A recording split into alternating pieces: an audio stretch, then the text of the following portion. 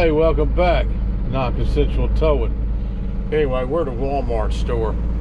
Evidently, they've got somebody that's uh, some cars parked out uh, on the on the property, and uh, they hadn't uh, they hadn't been shopping here for two or three weeks. I'm pretty certain of that. So the manager's towing these cars because they've been sitting here for a lot longer than what than what they uh, they wanted. Anyway, we're gonna see what happens. Stay tuned.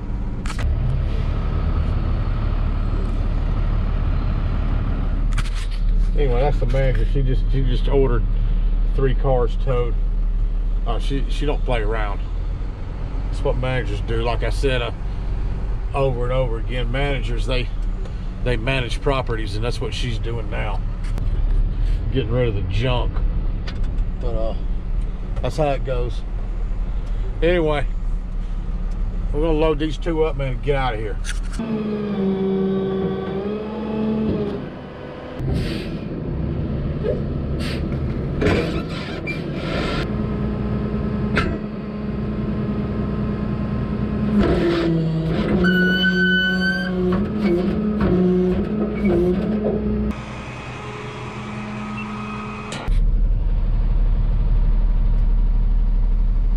had a guy that was walking back in the store or walking in the store i think with his kid and his wife. And uh somebody uh, two guys had got caught shoplifting and got chased out in the parking lot by by loss prevention.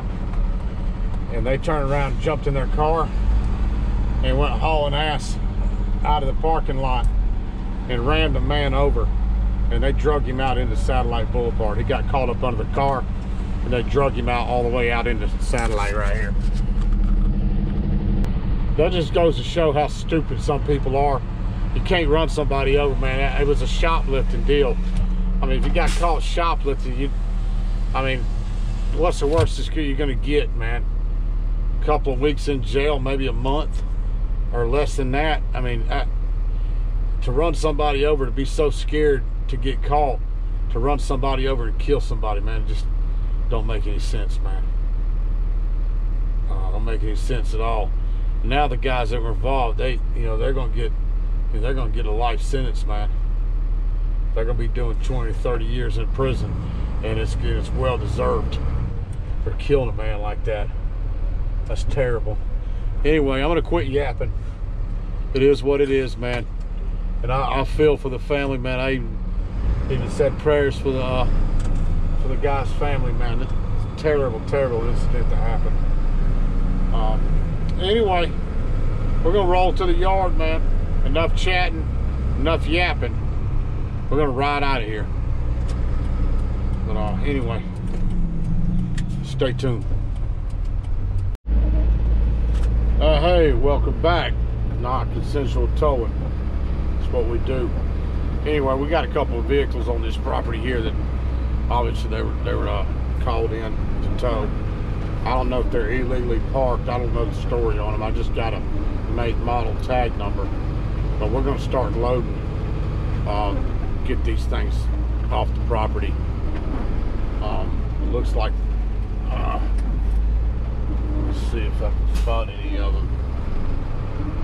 That one's the one illegally parked right there. That's not a parking spot. So we gotta grab the Civic. I think I've towed the Civic before. And we got a Ford Escape right here too.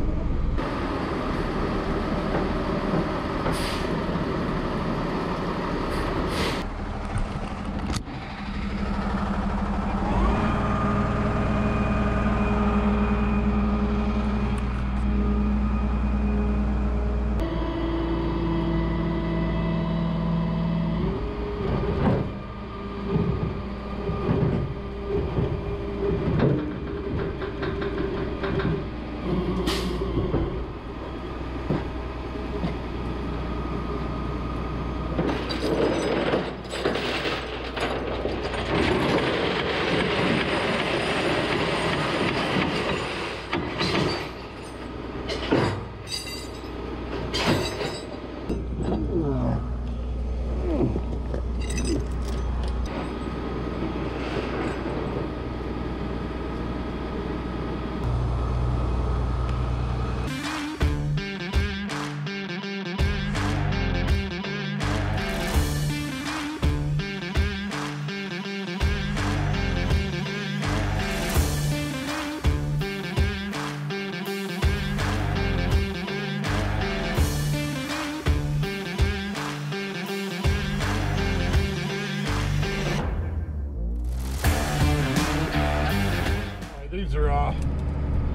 These right here are what I call hot impounds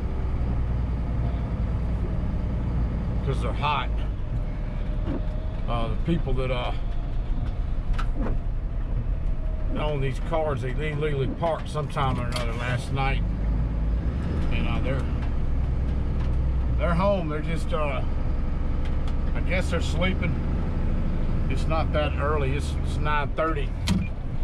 Um, but these two cars are basically side by side. I got I got one on the hook, man. I may have some uh, drama. These are just the kind of impounds where where you have uh, when you have issues, man. It's real common to have issues on these these types of impounds. Um, very very common. Anyway, we're gonna grab this this Honda Civic and see if we can't get it loaded quick as possible.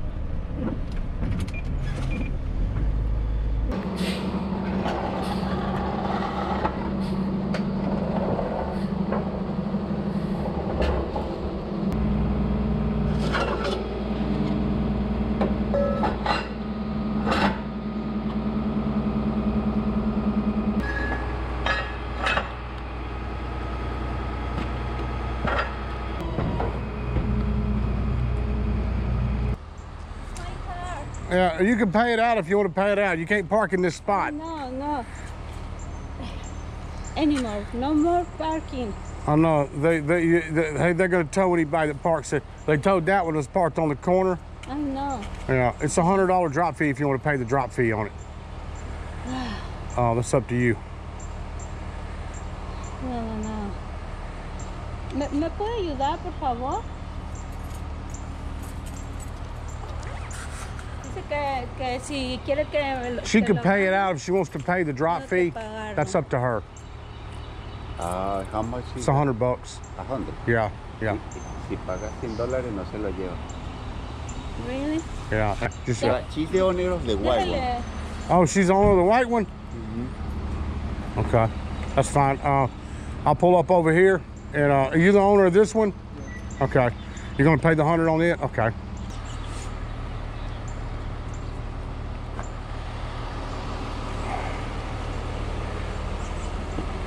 Anyway, that's the nature of it's the nature of the beast doing these uh, these, these these impounds like this.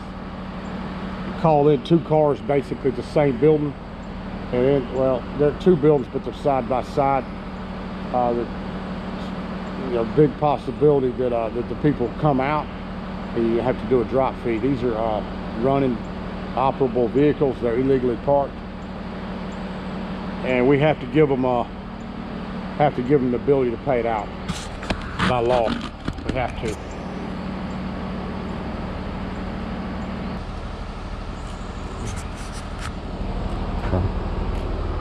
Okay. i am gonna drop yours right here in just a minute. I'll drop it. I can put it right in here. Oh, wherever. Yeah, that's fine. And uh, as soon as he comes out, he's trying to get his. Huh? He's trying to pay. Yeah, he's trying to pay his. It, and it does run, don't it? We'll just pull it in. And I was telling her, I, I don't know what the issue is with the cars, uh, other than uh, fire trucks can't get through.